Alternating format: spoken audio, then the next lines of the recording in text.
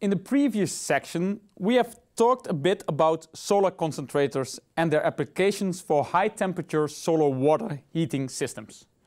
But this is not its only application. High temperature fluids can be used in steam turbines to produce electricity. That is what happens in the so-called solar thermal power plants, like the one shown here. Solar thermal power refers to the conversion of solar to mechanical and electrical energy. Much of the early attention of these systems was in small-scale applications, mainly for water pumping. However, since 1985, there have been several large-scale power systems of up to 80 megawatts. This technology is especially interesting when located in desert regions, where radiation is optimum and the otherwise unused land is utilized.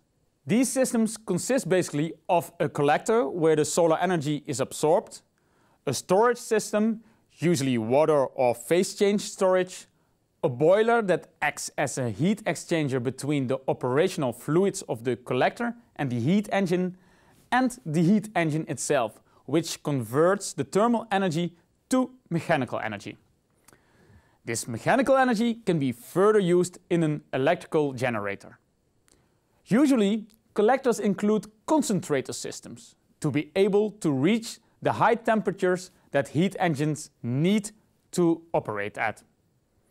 I'm going to explain the basic concept of solar thermal power using the example of a solar power tower. But we will see later that this is only one possible configuration of solar concentrator systems. The direct light strikes the mirror or the collectors, which are equipped with a tracking system that follows the sun. The shape of the mirrors is able to focus the light on a central tower, where a fluid is heated. This fluid raises its temperature to values between 100 and 500 degrees Celsius due to the concentrated sunlight. The fluid is then used to move a turbine in a heat engine and produce electricity. A problem of these systems is that the efficiency of the collector diminishes as its operating temperature rises, while the efficiency of the engine increases as the temperature rises. So a compromise between the two has to be found when choosing the operating temperature. Let's now focus on the concentrator system. Solar concentration systems have been known and explored for a long time now.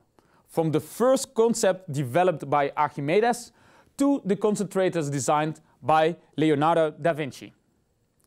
A more recent example is the Walkie-Talkie building in London, which by virtue of its shape is able to concentrate the light that strikes on it in a small area.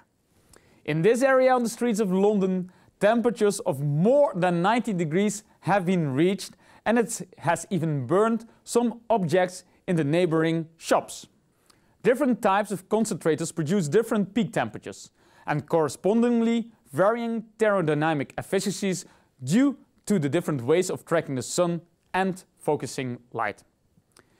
Innovations in this field are leading to more and more energy efficient and cost-effective systems. The first system that we will discuss is the parabolic trough. A parabolic trough consists of a linear parabolic reflector that concentrates the light onto an absorber tube located in the middle of the parabolic mirror, in which the working fluid is located. The fluid is heated to 150 to 350 degrees Celsius and then used in a heat engine. This is a developed technology whose most known examples are the Nevada Solar One and the Plataforma Solar de Almeria.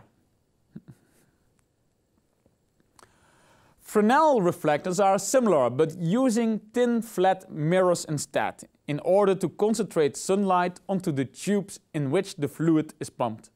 Flat mirrors allow more reflection in the same amount of space as parabolic, reflection more sunlight and are much cheaper. Other important concentrator systems is the dish Stirling.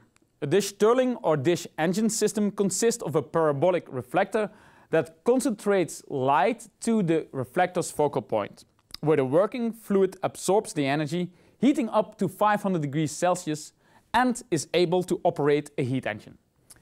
These systems provide an overall efficiency of 31%, which is rather high.